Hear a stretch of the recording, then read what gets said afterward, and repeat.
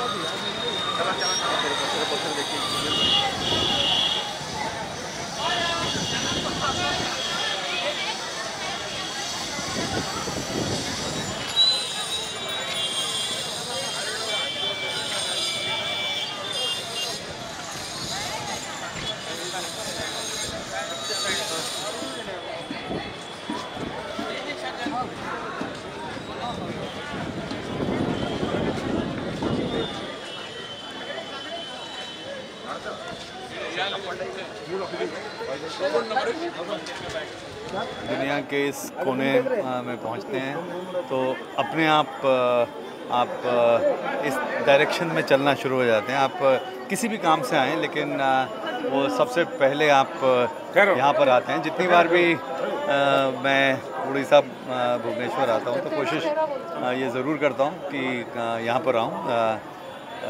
कई बार ये चुपचाप निकल जाता हूँ, लेकिन कई बार इस तरह से खबर पहुँच जाती है। लेकिन हमेशा अच्छा लगता है। नेचुरली बहुत बहुत खुशी होती है कि आपका काम ऐसा है।